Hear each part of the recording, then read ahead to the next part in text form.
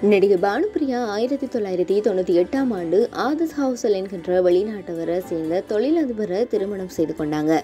திருமணமான ஒரே வருடத்தில் இருவருக்கும் ஏற்பட்ட கருத்து வேறுபாடு காரணமாக தன்னுடைய ஒரு வயது மகளுடன் சென்னைக்கு வந்துவிட்டாங்களாம் இந்த நிலையில தான் ஆதர்ஷ் ஹவுசலுடன் திருமணத்துக்கு முன் மூத்த இயக்குனரான வம்சி என்பவரை காதலிச்சுட்டு வந்திருக்கிறாங்க பானுப்ரியா ஆனால் அந்த காதல் திருமணத்தில் முடியவில்லை. இது குறித்து இயக்குனர் வம்சி பேசியிருக்கிறாரு.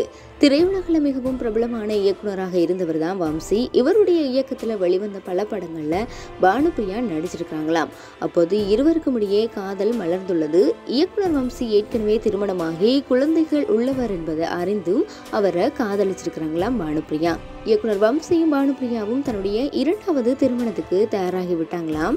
ஆனால் பானுப்பிரியாவின் பெற்றோர்கள் இந்த திருமணத்துக்கு சம்மதம் தெரிவிக்கவில்லையாம்.